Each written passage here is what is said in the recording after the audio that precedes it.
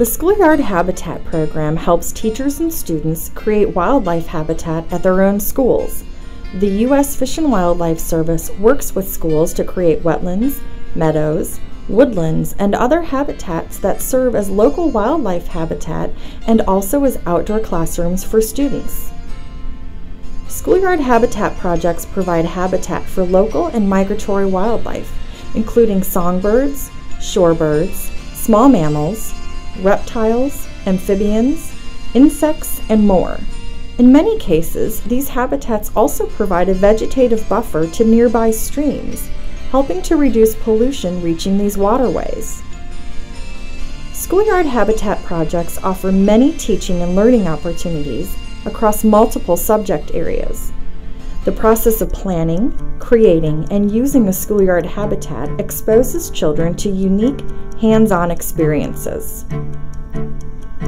Creating a school landscape provides the opportunity to engage students in scientific inquiry in a meaningful context. Schoolyard habitats are as unique and diverse as there are schools. Here's how the Concord Montessori School in Michigan got started with their schoolyard habitat. Well, one of the things that I think the outdoor education uh, part of the curriculum that, that is brought here is something that the kids have always complained about or always wanted, and that's something hands-on. They get sometimes bored or tired of just sitting in the classroom and studying things out of a textbook, or even uh, nowadays with computers being able to stream a lot of stuff. That's a huge connector. But they're always talking about, well, can we get outside? Can we do something hands-on? And so whether it be identifying tracks, identifying rocks, plants, trees, getting to know what the natural, what nature was around them. And instead of it, it becoming something where they just zoom by in a car and it's there, they actually see it and understand what it is, why the trees and the birds and the, every, all the different plants have the connections. We could, we were gonna put pine cones out and then put peanut butter on them and have like birdhouses to attract different species of birds and stuff, and then we could study them. It's just hard out there sometimes because of all this traffic's going by and you know, the traffic.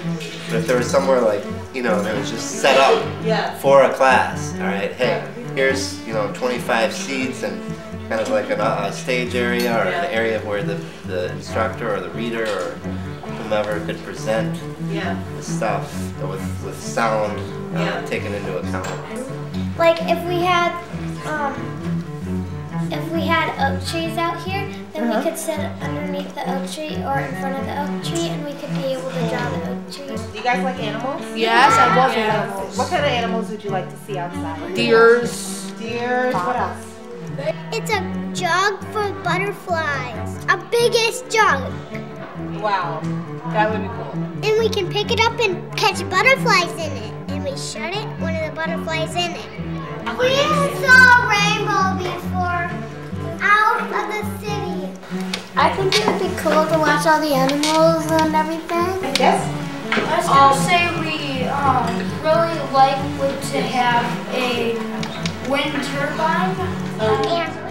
Here's how the Concord Montessori School in Michigan designed their schoolyard habitat.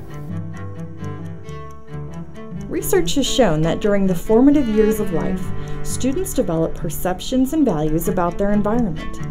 If designed and managed well, schoolyards can provide students with meaningful opportunities to connect with the outdoors. Experts have demonstrated that young children are driven to explore, discover, and play while refining motor skills.